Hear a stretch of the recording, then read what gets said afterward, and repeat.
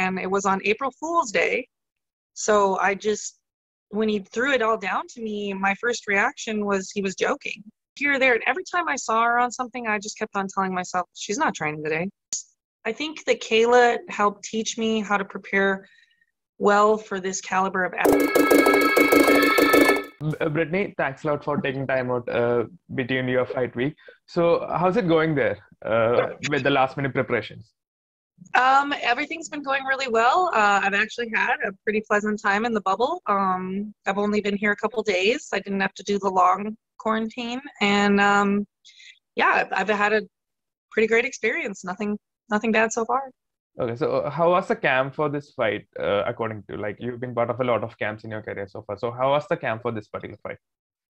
Oh, this camp was awesome. I, I had a ton of fun. Um, and I think because I had such a, a little break on that, or like such a long break, it was like it was all new again. So I was having a lot of fun in camp. I wasn't like camp to camp to camp to camp to camp, back to back to back fights. So I I laughed a lot. I enjoyed myself. I had about two bad days. so good camp. So this, this was probably different, right? Like training in between the pandemic. So how how was that different for you? Can you ask that again? I guess I misheard. Uh, so this might have been different for you, right? Training between the pandemic. So how was that different for you? Um, yeah, I, I, I, I, the thing was completely different because I moved to the East Coast and I started with a whole new team. Um, and then we were going on a very stylistic type fight. So um, it changed the way we took a, a view at this and the way we geared what, what our mission was like for the camp.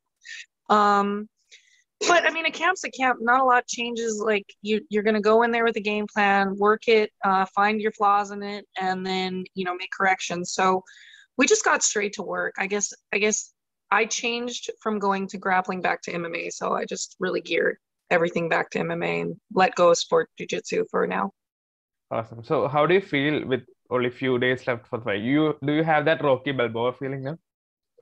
Oh, the Rocky Balboa feeling. I definitely feel very prepared. Um, I've had great mood, great um, great time like with all the staff here at PFL. I've I've not come into any. I did have one little hiccup where a cornerman changed um, at the last minute, but I think it's gonna everything's gonna be good. Um, I've been in great spirits. I still have one corner coming in um, from uh, out of state, and as long as he gets in okay, I think we're in a solid mentality, ready to go in there and do work. Awesome. So, uh, could you just tell us like how the offer came to you and like your, what your first reaction was? Yeah, um, I work events. Uh, I've transitioned into working. Um, I'm a I'm a general manager of an event arena, and we do a lot of sporting events, fight events, and stuff. So I was actually working uh, a floor at a cage fight event, and um, we had just got the the crowd in and my phone lit up and it was the owner of PFL, Ray Sefo, and it was on April Fool's Day. So I just, when he threw it all down to me, my first reaction was he was joking. You know, I thought it was a joke. And I asked him like 10 times and he assured me he wasn't. And then when we hung up, I even called him back again. I was like, Are you sure? You're not kidding? And he's like, No, I'm not kidding. And I think I started camp two days after we started to at least address camp you know, like where are we going and what are we doing? So. Awesome. So you were someone that welcomed uh, Kayla Harrison to PFL as well, or MMA for that matter. So how different is that fight when compared to this one, and how, what has changed in between this time? Well, Kayla Harrison is a completely different fighter than, and I think she's an incredible fighter. Um, I think she's she's you know she was a she was a grappler too. She she knew she knew a lot about grappling.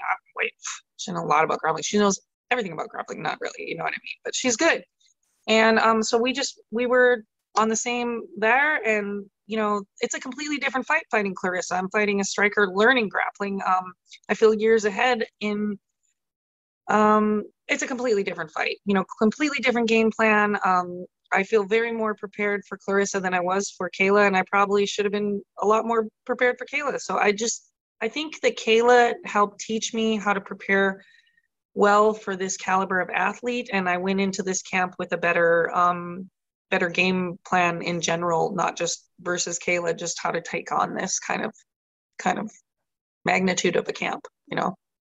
So following up upon that game plan part will keeping the things keeping things on the ground will be your game plan and will you be looking for a submission win in this one I mean, if a submission's there, I'm gonna take it. I'm I'm not gonna go and do myself a disservice. Um, but I, I'm not only looking for submissions. I would like to cause some damage or cause something, you know, while on top that she would have to deal with or have to, you know, not if if the submission's there, I'm gonna take it. But am I gonna roll onto my back for some armbar that might halfway be there? No, I'm gonna try to I'm gonna try to do some damage um, over some kind of submission just out of a hopeful submission. You know what I mean? I, I want to I want to be as successful, so I'm gonna look at the position I'm in, and I'm not gonna take it unless I know I have it. I'd rather, if I was in a good position, just do some damage instead. Awesome. So, how do you prepare for an opponent for whom you don't have any footage of her striking or in the ground? So, how how did you manage to bypass that issue? I think you got to start with a really good set of skills that are well rounded first, and be able to adjust. You know, um, you can look at everything you have to look at, like video or any of her past fights or boxing fights, how she stands, where she goes when she's hurt, where she goes when she's comfortable. Try to break all those things down, but there's a lot of unpredictable moments in an MMA fight. Um, a lot of things can happen that you don't you can't plan for. Um, but that's something that I think is going to do me uh, me a service. I've had more time in the cage of, um, you know, you can't make these things happen in um, sparring. You can't simulate them, and being able to have just experience on the grit that goes on in actualities in the moments, um, I think is going to give me a little edge ahead, um, and not figuring that out for the first time. Awesome. So, has it bothered you that the major portion of the spotlight is on Claressa? I mean, it's it's been wearing me like it's been, oh, it's been making me like it's like grated cheese that's what I keep on saying. It's like just grating at me. Um, um, it's gnawing at me. Uh, it doesn't bother me that she's getting a bunch of attention and a bunch of things. What the things that bother me is they're just like, oh, fuck Brittney. You know what I mean? It's like it kind of just a pass by. But no, I'm not. I, it actually gave me a lot of opportunity to train um, and not have to like I think she was taken around for all the commercials. She was brought here, there, and every time I saw her on something, I just kept on telling myself, she's not training today. She's she's getting on the PFL, getting all gloated up and pretty. Like I'm gonna be in the gym training, and we'll do that in the bubble. And I, that's kind of how I planned this whole camp. I wanted to kind of I did a couple small interviews on nighttime after training, but I planned on doing most of my media and everything like that while I was locked in here after all the training's done. So I think it did me uh it did me good. Good for her. She got a bunch of attention. Okay, so a couple of questions more. So, firstly, uh, the, there has been a lot of debates about boxers coming to MMA, and not a lot of them have fared well. So, do you see this uh, fight as an extension of those debates, and do you see yourself as, as a representative of the MMA community? I hope she doesn't fare well. I mean, that's we have to hope that I that it doesn't go good for her. I just really fucking hope so. Um, but I mean, yeah, I don't think it will. I mean, I want that's what I'm gonna go in there thinking. Um, she she seems to think that she she's the quote of, of all of it, and uh, I let I kind of let her have that inflated personality and figure some stuff out in there. Um, I'm not a training partner. I'm gonna fight her like an opponent. And sometimes training partners can give you a false sense of reality, not, you know, damning you. So I, I don't know. I, I hope that it doesn't go good at all for her. Uh, so we are seeing a lot of MMA versus boxing debates currently. So do you think more boxers should step into the ring or for the jiu-jitsu match for that matter?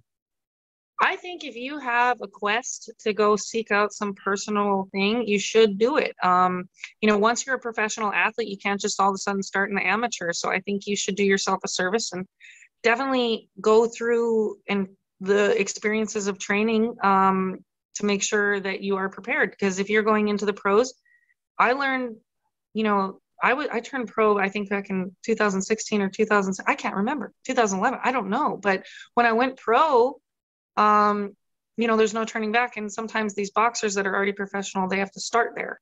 And that's a that's quite a bit behind in the experience you gain in the cage and amateur. So I do I do tell anybody to follow any quest that they have after, but just get prepared and and uh, unprepared woman is prepared to fail.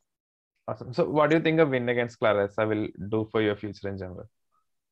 I mean, for my future in general, man, doesn't this leave a cool little legacy mark? Um, I I get to write my diary about it. Um, I don't know what the stars will align next, um, but um, I'm definitely proud. Um, and proud to tell my son about it. Proud to tell anything. You know, it's just a it's a notable time, and I'm trying to like live in the moment because it's an honor to be the the extreme grappler in this fight. So it's I think it's going to be talked about for a while. Um, it's all I can fucking talk about, and uh, um, I just I yeah I'm happy about it. It's very very cool. So lastly, what's the message that you have the fans uh, about the fight? What do I have to say to the fans about the fight?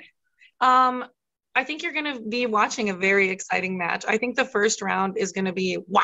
I, I just see it in my brain and daydreams and all the dreams when I sleep is just going to be like, oh my God. And then we're going to go into the second. I do believe that the wear and tear I put um, in the grit, um, I will recover faster and be able to. I want to have an end in the second round. You know, um, I just am been in enough fights to know sometimes it doesn't just get over in the first round. You got to go into a little deeper water. Sometimes an athlete on the calibers that we both are. So I'm I'm prepared for three, but I want to stop it in the second.